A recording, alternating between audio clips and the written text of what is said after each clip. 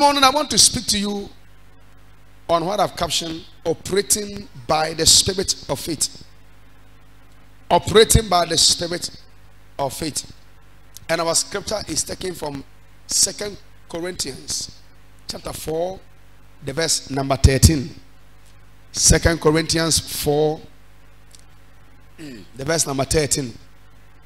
The Bible says, We having the same spirit of faith, according as it is written, I believe, and therefore have I spoken. We also believe, therefore speak. Hallelujah. We having the same spirit of faith.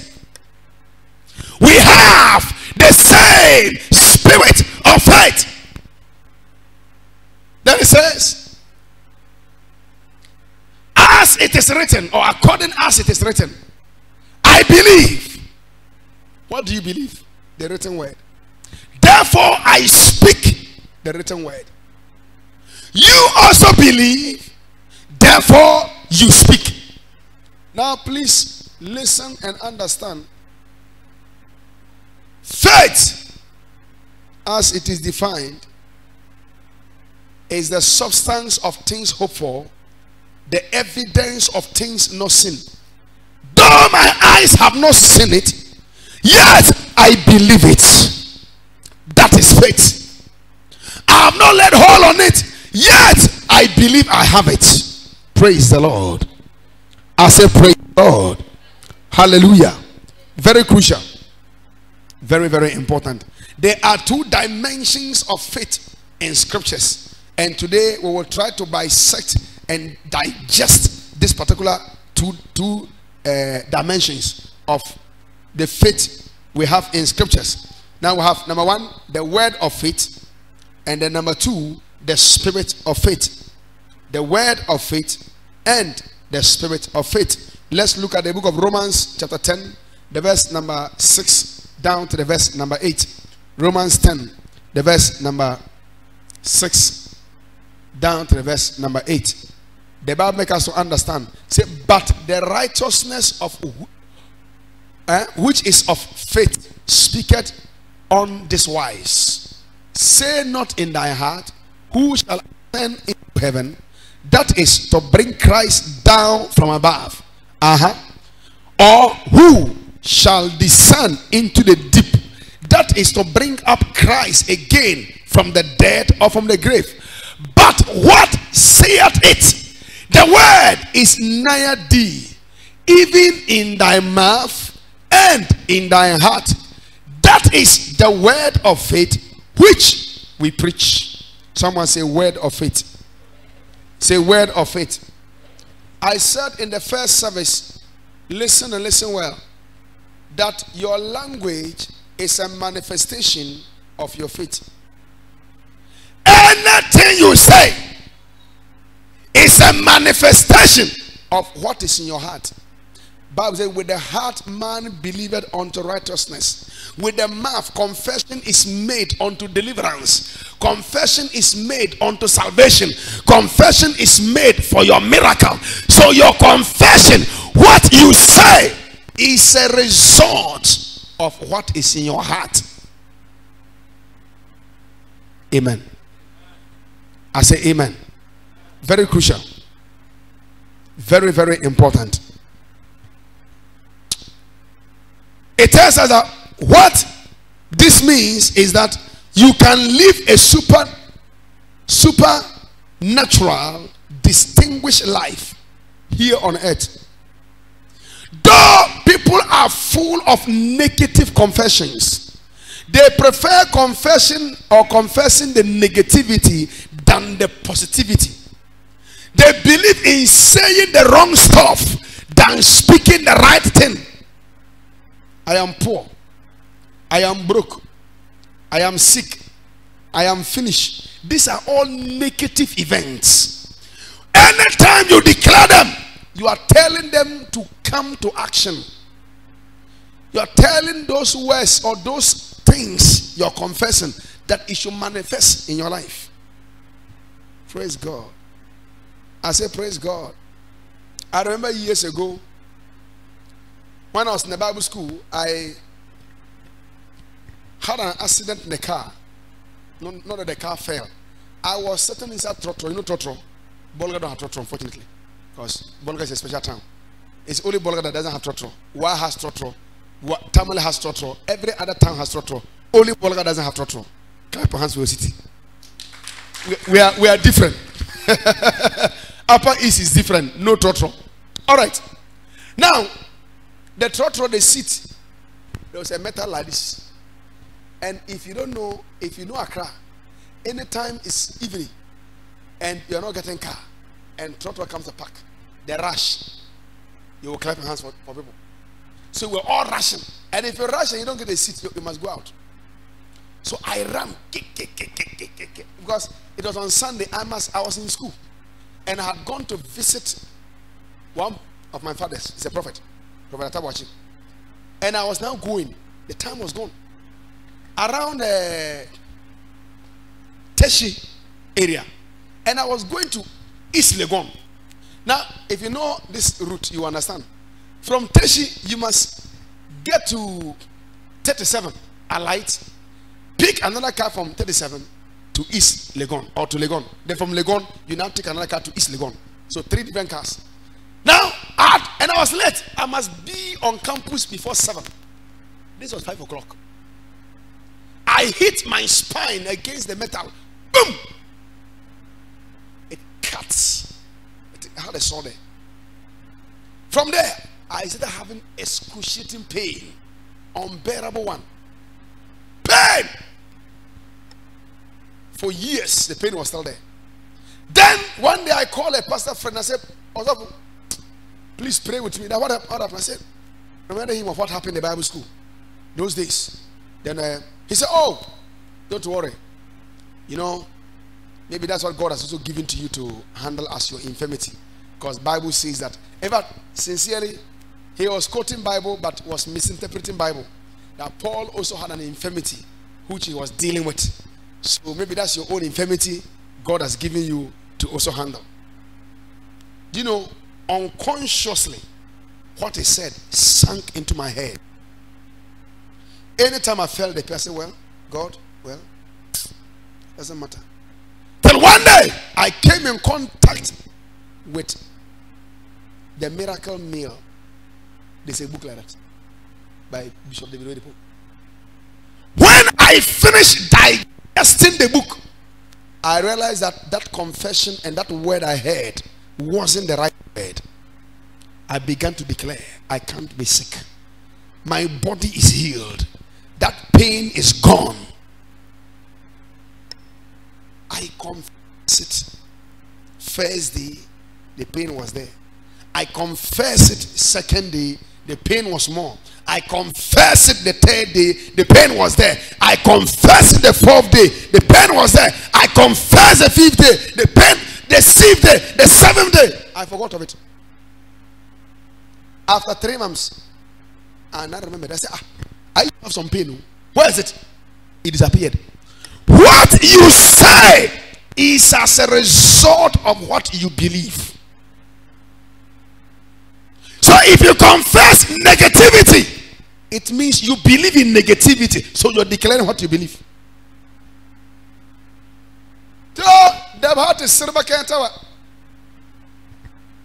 Sanya iman zahangur kalam genanza. Pohono no nyate pɔgɔ sa nyɛta siribam let me hear an amen I don't like that amen oh. If you don't say a better amen I will stop preaching. You come and preach. Hallelujah. The Bible says that faith cometh by hearing and hearing by the word of God. That's Romans 10 the verse number 17 so your faith is as a result of your hearing. The question is, what are you hearing? Many of us are hearing the wrong stuff. You listen to negative news. You listen to bad events, wrong things, bad things about others. And when you meet them, start thinking, hey, I hear this one. That is why it is always good to hear rather positive informations than the negative ones. Because the negative ones they kill your spirit, they don't help you rise. They don't. Faith cometh by hearing, and hearing the word of God. So anytime you hear the word, you are building up faith. Anytime you hear the word, you are raising up your faith to the level where you can get what you want to get. I read a story about John G. Lake. It was not raining in South Africa in his time. He needed water to wash his clothes. There was no water. He prayed, Father, let it rain. Let it rain in my house. Let the rain fall so I can get water to wash. Huh? It rained only in his house. Listen. Oh. The rain fell only in his house. Where his plot end, that's where the rain stopped. Heavy. They collected water inside tank. Full. Then the rain stopped. Why? He had had enough of the word of God that boosted faith to the extent that he could speak to rain to fall only in his jurisdiction, only in his area, and the rain fell. The rain came down. You can do it, oh. You can do it. But you see, your challenge is you are hearing negative news, negative event. That person is a bad man. This one is a bad person. This one. So when you meet people, only bad things come to your mind. No positive thing. Nothing positive. Nothing. Hallelujah. I say hallelujah. Hmm. Hmm. Hmm. Faith, it comes by hearing and hearing by the word of God. I said, so the word of faith comes via the written word of God, which is the Logos. This one. It comes by this. This is the Logos. It's written. It's down. You can read. You can see the letters. Now hear this. For with the heart man believeth unto righteousness, according to John 10 10. Uh, sorry, Romans 10 10. But the spirit of faith is different both in operation and source. It is not generated, but it is impacted. The spirit of faith is impacted. The spirit of faith is impacted. It is not generated. Now, the word of faith comes by hearing the word, but the spirit of faith is impacted. So, you meet a man who carries enough faith to speak to a dead man to rise. And when the more you listen to the man, the more your faith, you are impacted with faith. Faith comes on you like the pouring water on you. That event, when you rise from that place and you go to the mortuary and look at the dead man and say, Get up, the man will get up. Why? You have received enough from a man who has impacted your spirit. Bishop Benson Idahosa, late memory, was in church, went to church one day, and then his pastor was preaching about faith. You can heal the sick. When the close service, you can raise the dead. He went to pastor. Pastor, have you raised the dead before? I know. But I know it's possible. That, you haven't raised the dead before? Yes, I'm, I'm going to town. Then what? I'm going to raise the dead. He took his bicycle from house to house in a city called Benin City in Nigeria. When they get here, has anyone died here? They said no. Go to the next house. Is anyone dead here? No. He was roaming, looking for the people to raise. Then they got to the house, one house, saw people crying. What happened? They said, a small girl is dead. Ah, don't cry. I came to raise her. They're like, huh? Came to do what? To raise the dead. What? You the small boy? Ah, yes. My pastor says, the Bible says, you can raise the dead. So bring me the dead. I want to pray for the, the person upon consultation, he said, Well, go. He's in the, in the room. Little girl. He got there. So, little girl. Jesus said, Talita Kumai. So he thought Talita Kumai was, was the name of the of the girl. so he said, What's the name of the girl? Because said Jesus asked of the name of the girl. Then the then he, he also asked of He said, What's the name of the girl? Then they mentioned. He said, said if it's Ma- Margaret, he said, Margaret, Kumai. Huh? And because of how he was determined in his spirit, when he declared, the girl stood up. And that's how jubilation started in his village. That's how revival began in his town. Praise the Lord. I read that book, Fire in My Bones. Go get it and read it. You understand what I'm talking about? Fire in my bones. Why? The word of God is able to, to, to, to cultivate fire or ignite fire in your bones to the intent that you can't sit down and see other people suffer. You can't sit down and see other people go through trouble. You can't bear it. You must bring them the solution. Turn and tell your neighbor, I am a solution bearer. I am a solution carrier. Hallelujah. Very crucial. But all this will happen by faith, not by mouth. By faith. Hallelujah. I say hallelujah.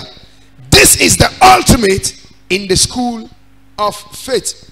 So, for anyone to operate by faith, the person must understand. Because the spirit of faith is the spirit of exploit.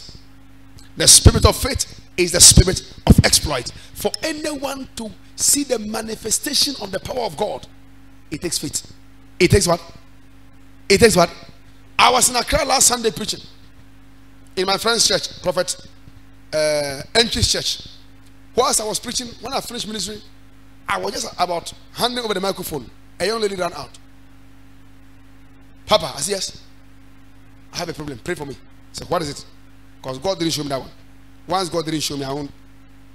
That my head, my head, I have had this headache for close to eight months now. What happened? Your head? Ah, yes. I said, lift up your hands. When I raised my hand, I said, in the name of, because already within me, I knew anything that comes before God's presence must be healed. Any situation that gets to His presence must find solution. I said, in the name of Jesus, get out. The power of God carry her. Went and dropped her somewhere. She got up. It's gone. Wow. You mean instantly? Yeah. There, there, there. Later she came after I closed. What happened? That when before the lockdown, I was doing business with a friend. Then when the lockdown came, my friend said, business not good. So it's a supermarket. So we're closing it. So you go home. I'll get back to you. The friend closed the supermarket, sold all the things to someone, took the money and disappeared and left her. So when she heard of the news, went to the shop the following time, saw a different person, the whole place, everything changed. Ah, what happened? Oh, we bought the place. Call a friend, please.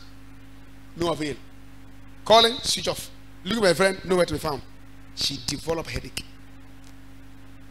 for seven to eight months. She can't she can't bear it. But instantly, when God got involved, that, that devil that was ravaging her health disappeared. Why? Faith was at work in the church. Even now, whatever you carried from the house and came here, you will leave it here and go home. If that amen can be louder, you're the one I'm talking to. Hallelujah. I said, Hallelujah. The word of faith, when believe, has to be appropriated to get result. So when you read the word of faith, if you believe it, you have to put it to action in order to get results. That's word of faith. That is to generate the faith from the word. Now, we're talking about the spirit of faith in this dimension. Hear this. But the spirit of faith brings you under open or under heavenly influence. So, with the spirit of faith, you don't need to generate anything, you don't need to sow seed, you don't need to do anything. As soon as you are you are you are able to apprehend, receive it instantly, it begins to work for you. Word of faith, you sow seed, seed sowing. It's an act of word of faith. Mm-hmm. Prophetic seed, pastoral seed, evangelistic seed, ministry seed, television seed, whichever seed you're sowing, is as a result of word of faith. You are acting based on the word. But the spirit of faith, as I'm preaching, you are grabbing it to go heal a cripple. Tell the cripple, rise up. And the man whose legs has been crippled for years was stand up and begin to wobble around and begin to walk around. Uh huh. That is how the spirit of faith is impacted. Praise the Lord. I said, now, now all the stories you read about about people who live in the old or in the past who work miracles, that was their time. You, this is you, your time. I say it is you, your time. And you too must leave a legacy. You must leave a record so that when you are dead and gone, others will come and mention your name and say, In the time of Abigail, in the time of Godwin, in the time of Maxwell, they raised how many dead bodies? How? Because you also took the opportunity of the fact that this was your timing and your season, and you began to walk by faith and operate by faith. This is your time. I said, This is your time. It will not pass you by. I said, It will not pass you by. That moves you beyond the natural or the natural realm into the realm of the unlimited exploit. Unlimited exploit. Number one, the source. Let's read Deuteronomy chapter 28, verse number one. Deuteronomy 28, verse number one. Quickly. Let's see what the Bible says. Deuteronomy 28, verse 1. We look at the source. The source. It says, And it shall come to pass if thou shalt hearken diligently unto the voice of the Lord thy God to observe and to do all or all his commandment which I command thee this day that the Lord thy God will set thee on high above all nations of the earth. If you will hearken, hearken means listen, hearken means pay attention. If you will pay attention to the word of the Lord your God, and if you will obey the word and operate by the command of the Lord, then God he said, Your God, He will elevate you, He will lift you up above other nations of the world. So you don't get there by just talking, you get there by hearing and then acting. You hear the word and you act based on the word. Praise God. We're talking about faith in this context. Faith. The operation by faith. Operating by faith. Hallelujah. I say hallelujah. You hear the word, then you act on the word. I say it is one thing to hear a man through his writing. It is, but it is another thing to hear the voice of, of, of the man on a tape or on the radio or on Facebook. Others are watching us. Whereas the word of faith comes via written word, that's logos. Word of faith comes through written word. It comes through the word. In the beginning was the Word, and the Word was with God, and the Word was God. All things were made by Him, and without Him was not anything made that was made. In Him was life, and the life was the light of men, and the light shined in darkness, and darkness comprehended it. That is the Word. So the more of the Word you you you you, you are able to cultivate, bury into, into your spirit, the more of God you carry within you. Hallelujah. I say hallelujah. But I'm talking about whereas the word of faith comes via the written word, that's Logos, the spirit of faith is impacted by hearing the voice of God, that is the spoken word or the rhema. So the word of God guarantees, or sorry, generates faith, but the voice of God impacts the spirit of faith. Hello, hello. The word of God generates faith in you. But the spirit of faith impacts to you the spirit of faith.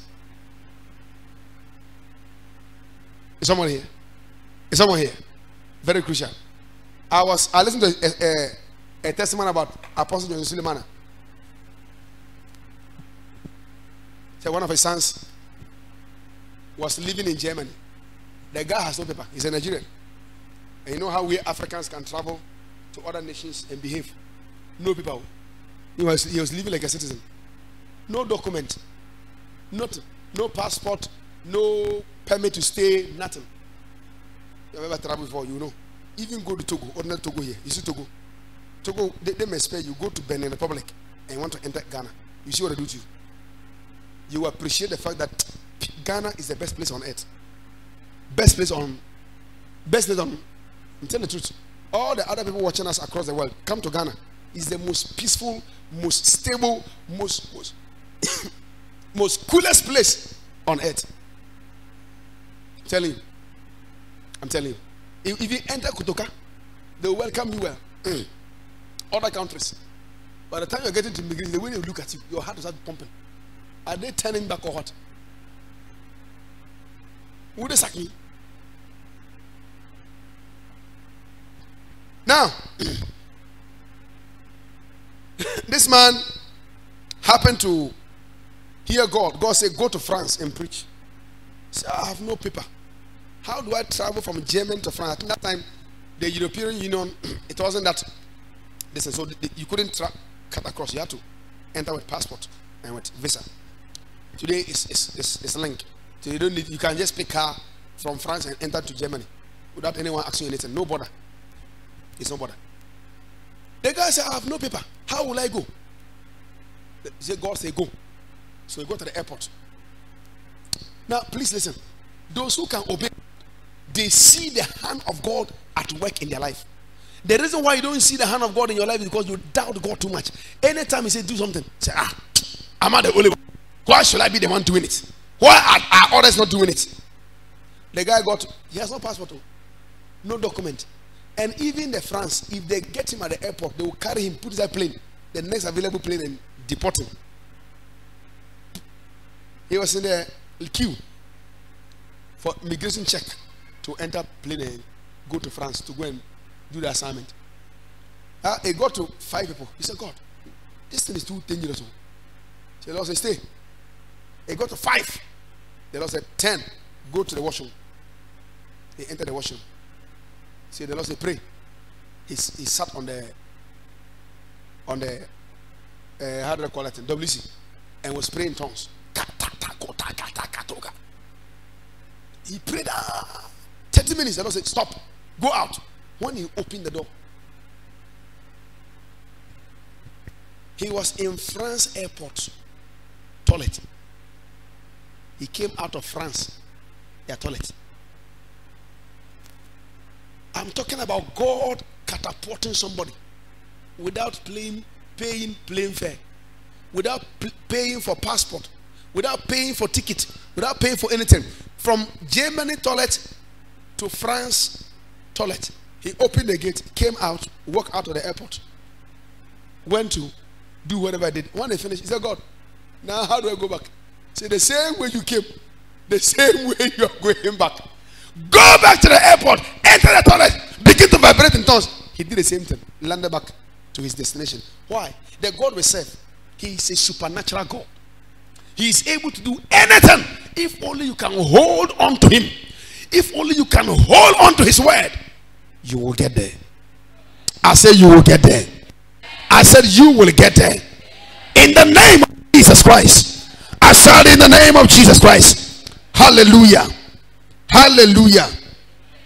The voice of God impact the spirit of faith. It is hearing the voice of God that impact the spirit of faith and confer on you exploit. Because when you hear the voice of God on any issue, that issue is settled. If you hear God's voice on any issue, any issue, health, marriage, business, education, any issue that is a challenge around you, one thing you need is the voice of God. And I stand here this morning and I speak into your life that the heavens are open over your destiny. Let that amen sound like tender. In the mighty name of Jesus. I said, in the mighty name of Jesus. For instance, see, I had a lot of discouragement when God called me into ministry. Yeah, because a lot of people came around. Others asked, You are too young. Why don't you enjoy life so that when you grow old, you become a preacher? Why do you want to be a preacher as young as you are? I said, God says so. I remember meeting an elderly man who said, a man of God. He has been in the ministry for years. He said, young man, I want to advise you. I've been seeing you around every day around this area do evangelism. I know which school did you complete? I mentioned that. Hey, eh, then you did well. Oh. That's wonderful. So, what is your intention? I said, My intention is to preach the Bible. I know. Leave it and go and look for work. Look for. Go and look for. I said, God asked me to preach. Ah, it's not easy. Oh. It's not easy being a pastor.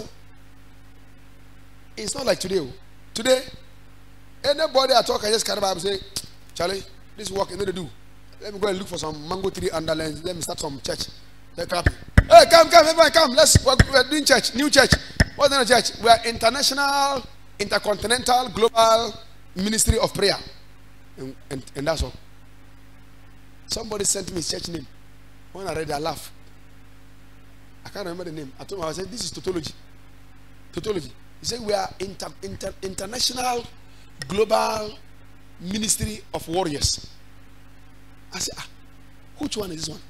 International, global ministry of warriors. So they, they are. All right. All right. Let me leave that one there. But what am I saying? I'm talking about the fact that people can discourage you. Say all manner of things. Uh, this thing, the way it's working this way, me, I have ever experienced it. If it's working like this, means it don't work. It means that you are going to fail. Usually, when things begin to work like this, it means that something bad is about to happen. They discourage me. But I still held on. And the man said one thing. He said, Unless you have faith, unless you have what? You have what? And faith is now the substance of things, or the evidence of things not seen, the substance of things hoped for. So I was hoping for it, hoping for success, hoping for breakthrough, hoping to make it. Others say it can't work. It's not easy. It can't work. It's not easy. It can't work. Hallelujah. But the spirit of faith, which I encountered through the voice of God, that I heard gave me the wings to fly, and it made it possible for me to be, uh, or impossible for me to be discouraged. The Bible says in Psalm 29, the verse number 3, the voice of the Lord is upon the waters. Psalm 29, the verse number 3. Psalm 29, the verse number 3. The voice of the Lord is upon the waters. Quickly. Upon the waters. The God of glory, tendered the Lord is upon many waters. Why? The voice of God, when uttered, nothing can stop it.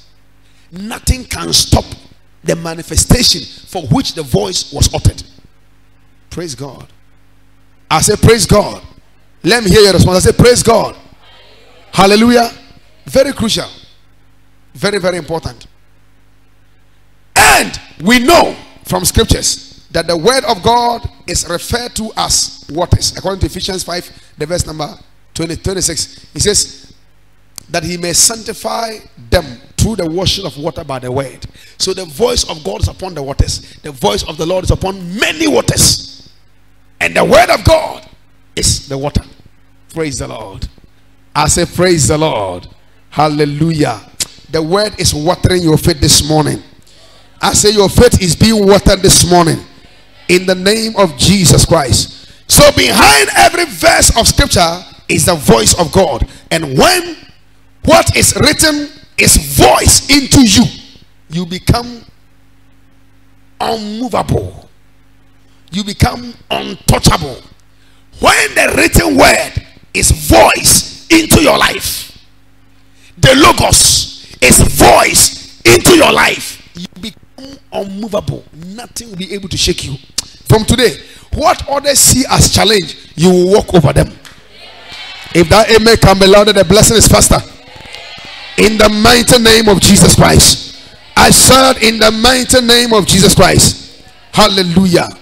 Ezekiel said, The Spirit entered into me when he spoke unto me, and he set me off, set me upon my feet. Ezekiel 2 2.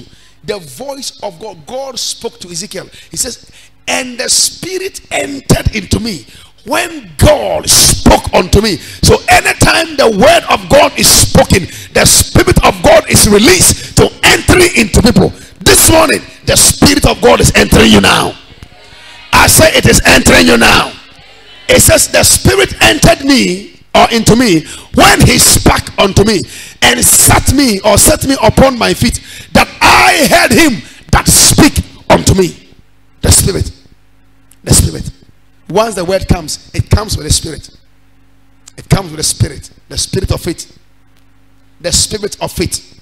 From today, you would dare every impossibility around your family. I said, You will dare every impossibility in your family. In the name of Jesus Christ. I said, In the name of Jesus Christ. You can't hear the voice of God and still be down. It's not possible. You can't hear God. You can't hear his voice and still be where you are. It's not possible. Hallelujah. I said hallelujah. Praise the Lord. Let me leave it here. My time is gone. Next week I continue. Operating by the spirit of faith. So whenever you pick the word of God and you begin to speak, the Lord is my shepherd, I shall not want. Hey, hey, hey, hey, hey, hey. That is the voice of God. You are uttering the voice of God. You are uttering the word of God through your mouth. Now, once the word comes out, the Spirit of God backs the word. And the word is activated. Whoever it gets contact with, a miracle happens. A miracle takes place. You are living here this morning with your miracle. I said you are living here with your miracle. Let that amen sound like thunder. Hallelujah. This is your day. This is you, your day. You are living here to go and raise dead people. I said you are living here to talk to cripples to stand up. Deaf ears will open, blind eyes will open, the lame will walk. In the mighty name of Jesus. I said, in the mighty name of Jesus. You don't serve a dead God. You serve a mighty God. He is the same yesterday. He is the same today. He is the same forever. If God say yes, no man can say no. If God be for you, no man can be against you. I declare over your life this morning that God is on your side. Power is on your side. Favor is on your side. Glory is on your side. Lift up your hand and shall fire shall fire, shall fire. Hallelujah.